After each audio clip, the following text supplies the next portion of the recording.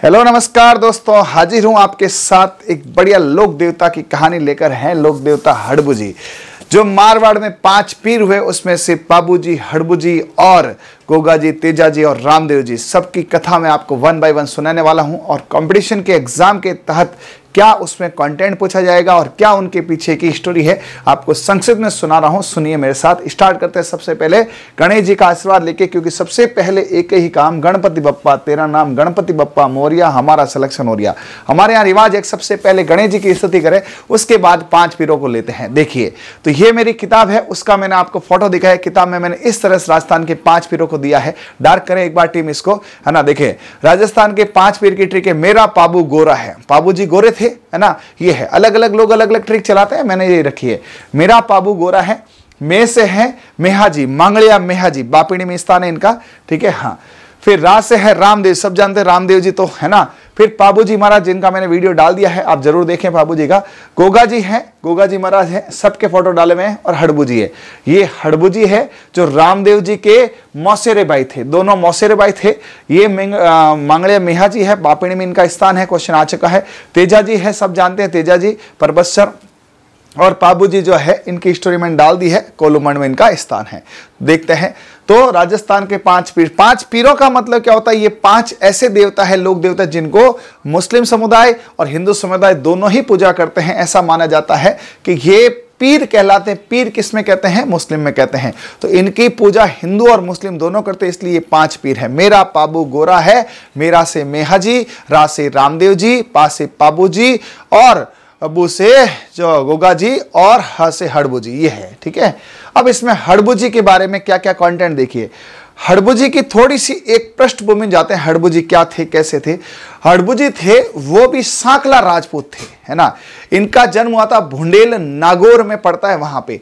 इनके जो पिताजी थे वो मेहर राज थे वो वहाँ के जागीरदार सांकला थे और उनकी माता का नाम सवाग थी ठीक है? तो इनके जब आ, हड़बू जी के पिताजी का देहांत हुआ था तो हड़बू जी बड़े फ्रस्ट्रेशन में थे और उन्होंने अवसाद में आकर बोला, नहीं, मेरे को इस दुनिया से कोई मतलब नहीं है, ठीक है? और अपने आप को उन्होंने एकदम अलग कर लिया, ठीक है? और एक हरबम जाल जगह जोधपुर में वहाँ रहने लगे। ये बहुत कम लोगों को पता है, ठीक है? पिताजी के देहांत के बाद बाबू जी रहे थे? तो हरबम जाल एक जगह है। हरबम जाल एक जगह है जोधपुर में। यहाँ ये अपना जीवन यापन करते और इन्होंने यहाँ पर जो है ये घोषित कर दिया, अब मुझे दुनियादारी से कोई मतलब नहीं है। उस समय रामदेव जी ने इनको बोला, देख, है ना, हरबम जाल से इन्होंने कहा कि तू अपना जीवन ऐसे क्यों यापित करता? भाई, दोस्त थे, भाई मतलब मौसेरे भाई थे तो अपने भाई को बोलते ना वैसे कि हड़बू तू अपना जीवन ऐसे व्यस्त नहीं कर सकता, तू लोक देवता है है ना तो एक काम कर, तू अच्छे से किसी गुरु को बना, वो तेरे को आगे क्या ज्ञान देंगे, क्या क्या करना है। तो हरभुजन बोला, फिर मैं किसको गुरु बनाऊँ? तो मेरे गुरु को बना ले। जो गुरु रामदेव जी के थे, बालीनाथ जी, उन्हीं को गुरु बनाए हड़बुजी ने। तो हरबम जाल से ये गए कहाँ पर? जोधपुर बालीनाथ जी के पास। बालीनाथ जी यहाँ पर, जोधपुर में इनका मंदिर भी है, ठीक है, बालीनाथ जी, इनको इन्होंने गुरु बनाया, ठीक है। गुरु में इन्होंने अच्छे से इनको पूरा जीवन बताया कि मनुष्य जीवन खाली खाना पीना ये नहीं होता। मनुष्य जीवन का मतलब होता है सरोकार होता है, दान पुण्य होता है, लोगों के बीच अपनी जगह बनाना होता है, सेवा करना होता है, ये होता मनुष्य जीवन। तो ऐसा करके इन्होंने गुरु से पूरी की पूरी दक्षिण, ध्यान रखना, हरबम जाल बहुत कम लोगों को पता है, हरबम जाल के बाद फिर यहाँ से जो है हड़बू जी, हरबम जाल है। हरबम जाल से ये जो है, अपने गए थे, यहाँ पर एक जगह है, चाकू करके, चाकू गाँव में इन्होंने दीक्षा ली थी। तो यहाँ से फिर ये तपस्या करने के लिए चले गए चाकू गाँव। चाकू गाँव कहाँ है? फलोदी। ये चीज़ें हालाँकि इतिहास में आपके इतनी ज़्यादा काम की नहीं है, लेकिन थोड़ा नॉलेज होना चाहिए। फलोदी के पास चाकू गाँव है, यहाँ पर इन्होंने तपस्या की थी। यहाँ पर इन्होंने तपस्या की थी। और इतने सिद्ध पुरुष थे कि इनको मतलब भविष्य दिखता था। ठीक है? ये भविष्य करता थे सगुन शास्त्र के जानक, जो हुगन कहते हैं ना, मारण का हुगन खराब होगा, हुगन बढ़िया होगा, ये हड़बुजी की देन है। ठीक है? तो हुगन के बारे में ये देते थे। तो उस समय लगभग राव जोधा के समकालीन ये थे, ठीक है? तो हरबम जाल में ध्यान रखना सबसे पहले हुए थे, ठीक है? और राव जोधा 1438 से गुणनब्बे, ठीक है? तो राव जोधा के इन्होंने समकालीन थे तो राव जोधा इनके पास आए, है ना, चाकू में, कि साहब, ऐसा ऐसा, मैं मंडोर फतेह नहीं कर पा रहा हूँ, है ना? आपको भविष्य की जानकारी है तो मुझे बताइए, क्या मैं मंडोर जीत जाऊँगा? क्या मैं लड़ू तो फ़ायदा रहेगा? तो कहते हैं हड़बू जी ने अपनी कटार, है ना, और फेमटा उनको दिया और बोला, जाओ, तुम युद्ध करो, तुम्हारी विजय निश्चित है, ठीक है, जोधा लड़े और मंडोर की संधि हुई और उनको मंडोर पे अपना अधिकार मिला। इतने खुश होकर जोधा जी ने इनको, राव जोधा जो थे लगभग ये चौदह सौ अड़तीस उनचालीस मतलब पंद्रहवीं के आसपास सती बात है तो उन्होंने इनको एक जागीर बेगटी बैंगटी ठीक है। तो हरबम झाल, में तो ये सबसे पहले रहे थे, ठीक है बालीनाथ इन्होंने यहाँ पे तपस्या वो ली थी, गुरु थे इनके चौकू से। फिर इनको यहाँ पर राव जोधा ने बैंगठी गाँव दिया था। कि ये बैंगटी गाँव है, ये फलोदी में है, ये इनको दिया था राव जोधा ने कि जाओ साहब, आप वहाँ पे, आप आराम से जागीरी करो, आप वहाँ के राजा हो। लेकिन ये राजा नहीं, इन्होंने सेवक बन के काम किया। इन्होंने कहा, मैं राजा नहीं हूँ, राव बैंकटी में सब रहेंगे, मैं यहाँ पर इनकी सेवा करूँगा। उस समय उनके मौसेर भाई रामदेव जी ने उनको एक कटोरा दिया और एक कटार दी थी। कटोरा दिया कि ये धान का कटोरा कभी खाली नहीं होगा, कटार से तेरी रक्षा होगी, तेरे ऊपर कोई अटैक नहीं कर सकता। ठीक है? तो उस समय क्या था? वो अपनी एक बैलगाड़ी, है ना? बैलगाड़ी के अंदर चारा भर के उन अपंग गायों को, असहाय गायों को खिलाते थे, जिनको आवारा लोग छोड़ देते थे। जो आवारा गाय थी स्ट्रीट काउ थी, उनको ये चारा खिलाते और लोगों को जो भूखे मरते, उन कटोरे से, है ना, धान देता और धान उसमें कभी कम नहीं होता। ऐसे करके ये लोगों की भी सहायता करते और सगुन शास्त्र के जानक थे। अब देखते हैं आगे। तो सबसे पहले सुने, ये क्या थे? इनके बारे में और कंटेंट यहाँ पे है, पूरा कंटेंट आपको दिख रहा अच्छे से। अभी मैं एक बार समझा देता हूँ, फिर डार्क करेंगे। ठीक है तो देख लेना। सबसे पहले कभी भी लोक देवता माता पिता पत्नी, इनका ज़िक्र होता है। तो हड़बुजी थे उनके पिता थे मेहराज जी। है ना? कुछ किताबें महाराज लिखती है। सर, हमने तो गोपाल राज पढ़ा, वो उनका सेकेंड नाम था। सही मायनों में जो इतिहास कहते हैं, वो है मेहराज जी। मेहरा, मेहरार जी। ठीक है, महराजी महराजी महाराज कह सकते हैं, ठीक है। कुछ लोग इनको पता नहीं अलग अलग गोपाल राज़ी कहते हैं, वो उनका सेकंड नाम हो सकता है, बाकी सही मायनों में इनका इतिहास में महराजी है। और इनकी माता जी का सौभाग्य नाम कैसे याद करेंगे? महाराज सौभाग्य से मिले। किसी के पति महाराज मिलते हैं तो सौभाग्य से मिलते हैं। तो हड़बू जी की माता बड़ी सौभाग्यशाली थी, उनको महाराज जी मिले। इनके गुरु बालीनाथ थे, मैंने आपको बता दिया, जो रामदेव जी के थे। इनका जन्म भुंडेल नागौर में वहाँ के जागीरदार थे, ठीक है? और इनका स्थान बना बैंगटी फलोदी में, क्योंकि वहाँ उन्होंने अंतिम चरणों में रहकर लोगों की सेवा कर दी। बाबू जी की गाड़ी है है ना? बैलगाड़ी है उसकी पूजा की जाती। बाबू जी की जो है, बैलगाड़ी उसकी पूजा की जाती है, ठीक है? हड़बू जी की सॉरी और ये बैसे बैलगाड़ी है बैसे बैंगठी है। तो बैंगठी में आज भी उनकी बैलगाड़ी की पूजा की, जिसे सिया कहते हैं, इसको सिया कहते हैं। इनकी बैलगाड़ी। ठीक है? हाँ। रामदेव जी के मौसेर भाई थे, इनके पुजारी साकला राजपूत होते हैं, क्योंकि साकला ही थे, साकला राजपूत इनके पुजारी होते हैं। और सगुन शास्त्री थे, वचन सिद्ध थे। इसके अलावा कुछ कंटेंट मैंने नीचे दिया जो किताब में। ये डायग्राम एस्टीज मैंने अपनी किताब में छापा है ताकि आपको इंटरेस्टिंग लगे। जन्म बुंडेल है, पंद्रहवीं शताब्दी में गुरु बालीनाथ है, समकालीन राव जोधा के थे। राव जोधा को इन्होंने आशीर्वाद दिया था। गाँव जोधपुर में इनका जो है मंदिर है। और इनका मंदिर जो है, वो 1721 में अजीत सिंह जी ने बनाया था। राव जोधा ने ज़मीन दी थी अजीत सिंह जी ने इनका मंदिर बनाया था। इनके पिताजी थे मेहराज जी सांकला, इनका वहार बताते सियार है। इनका वाहन जो बताते हैं, वो सियार बताते हैं। अब इसमें थोड़ा सा ये रहता है, कुछ इतिहासकार कहते हैं सिया, उनकी गाड़ी थे, वहाँ से नाम पड़ा और कुछ कहते हैं सियार। ठीक है, अपने को ऑप्शन से मतलब है, आपके क्वेश्चन आएगा। सियार, है ना? तो ध्यान रखना, सियार किसका वाहन? हड़बू जी का है। अपंग गायों के लिए क्या करते थे, है ना? रक्षा करते थे और सांकला राजपूत थे, लकड़ी की गाड़ी थी इनकी और उपनाम क्या थे? सगुन शास्त्री, ये है है ना? अब उसके अलावा आपको मैंने इस प्रकार से एक, ऐसा रामदेव जी का दोहा चलता था कि रामदेव जी कहते थे हड़बू जी हरदम हाजिर। कोई भी बात को हड़बू जी हाजिर। जय बोलो सा हड़बू जी की।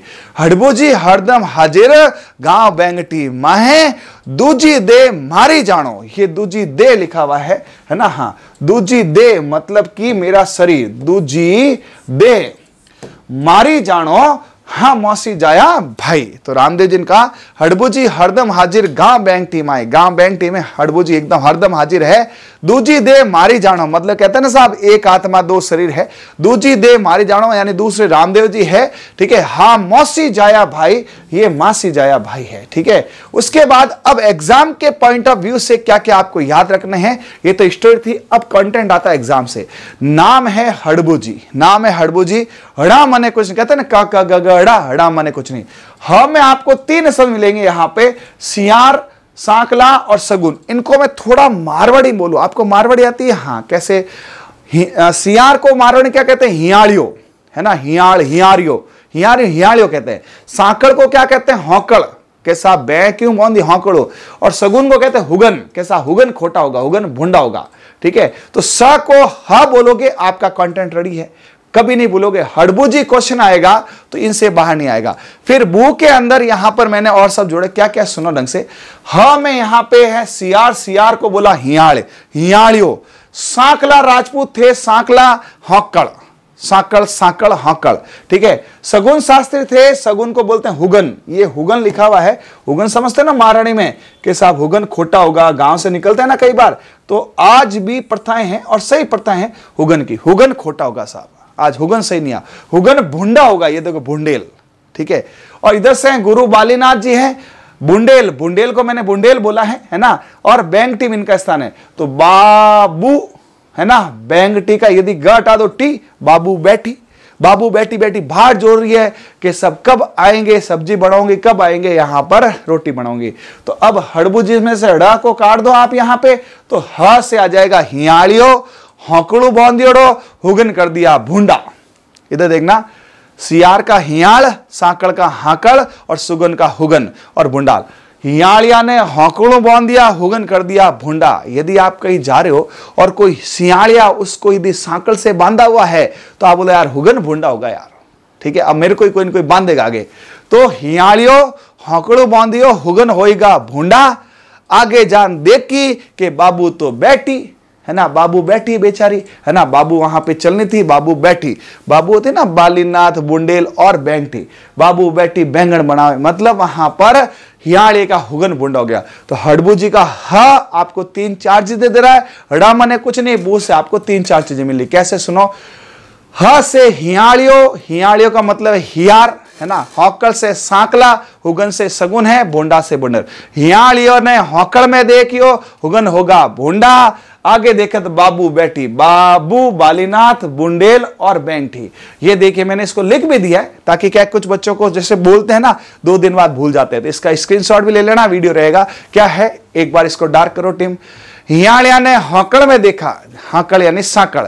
हियाड़िया यानी सियार। देखो, सब लिखा हुआ है। हुगन यानी सगुन हियाड़िया ने हकड़ में देखा, ठीक है? हकड़ में देखा बूंडा हुगन होगा। भूडा, हुगन हुआ।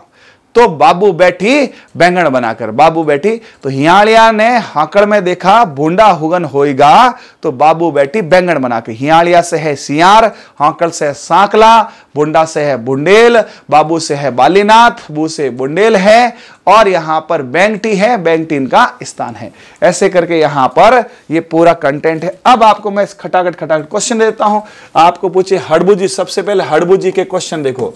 अब आप फटाफट सिर्फ़ सुनते सुनते ही आंसर देना। सबसे पहला काम है यहाँ पर, पिता कौन थे? जल्दी से बताओ। माता कौन थी? ठीक है? और ये किन के मौसेरे भाई थे? ठीक है? इनका उपनाम क्या है? सबके उपनाम आते हैं। और ये जितने अच्छे याद होंगे ना, उतने खटाखट क्वेश्चन आएँगे। ठीक है? इनकी बैलगाड़ी को क्या बोलते थे? इनका वाहन क्या था? इनका जन्म कहाँ हुआ था? ठीक है? जन्म के बाद ये कहाँ रहने के थे? गुरु कौन थे? ठीक है? और इन्होंने तपस्या कहाँ करी थी? ठीक है? और ये पिताजी के मृत्यु के बाद कहाँ पे ये भटके थे, ये चलो उसको नहीं पूछते हैं, ठीक है? और हम्म मंदिर किसने बनवाया था?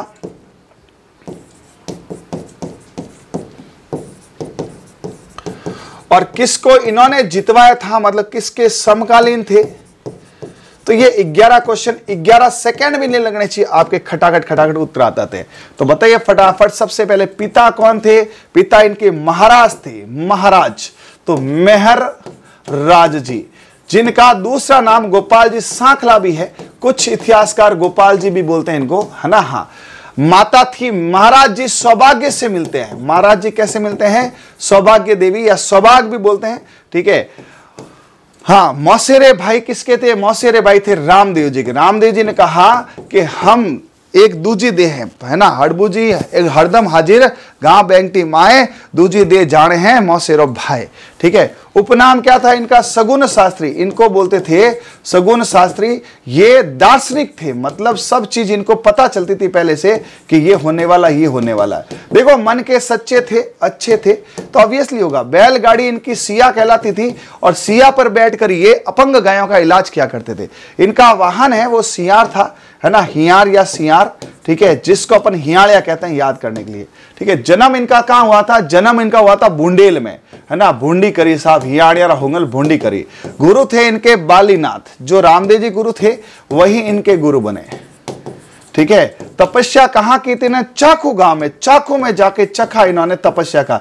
उससे पहले कहा थे? हरबम जाल से। देखो गाँव गाँव जो है हम्म, यदि पूछा जाए कि साहब सबसे पहले इनका जन्म कहाँ हुआ था? भूंडेल में। भूंडेल के जन्म हुआ, लेकिन पिताजी महाराज जी की मृत्यु के बाद ये फ़र्स्ट स्टेशन में हरबम जाल रह करे हरबम जाल में ये भ्रम में रहते थे एनी टाइम हर भ्रम हर भ्रम एनी टाइम भ्रम में रहते थे, उस वक्त उनको किसने दक्षिण दिशा दिखाई थी? रामदेव जी ने। और गुरु बालीनाथ जी ने उनको बोला, तू जा चाकू गाँव में तपस्या कर। तपस्या करते समय राव जोधा आया। राव जोधा मंडोर जीता और उनको क्या दी? बैंकटी गाँव। तो ऐसे आता है। सबसे पहले बुंडेल है। बुंडेल से हरबम जाल है। ऐसे ध्यान रखना। वन बाई वन यहाँ पर है। आप ध्यान रखना। सबसे पहला यदि पूरे इनका बचपन कहाँ बीता था? बुंडेल में। बुंडेल का है नागौर। नागौर से ये, है ना, पिताजी के बाद हरबम झाल गए। हरबम झाल के बाद ये तपस्या करने कहा गए? चाकू गए। और चाकू के बाद फाइनल इनको कहा गए ये? बैंक टी में। बैंक टी इनका क्या है? स्थान है जहाँ आज भी इनका मंदिर है, पूजा की जाती है।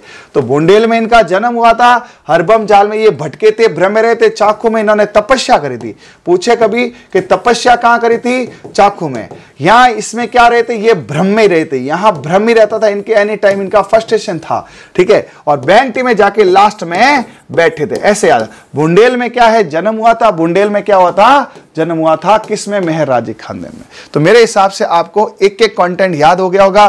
ठीक है अच्छे से यहाँ पर तो ध्यान रखना, ऐसे ही आपको पाँच पीरों के पूरे के पूरे मैं वीडियोज़ पाँच पीर नहीं, यदि आपको अच्छे व्यूज़ आते हैं और आप बढ़िया इसको पसंद करते हैं तो आपको मैं लोक देवता, लोक देविया और पूरा कल्चर साइलेंट वे में, देखो लाइव क्लास में क्या थोड़ा सा डिस्टर्बेंस हो जाता, बच्चे कमेंट करते, बात होता है, ठीक है?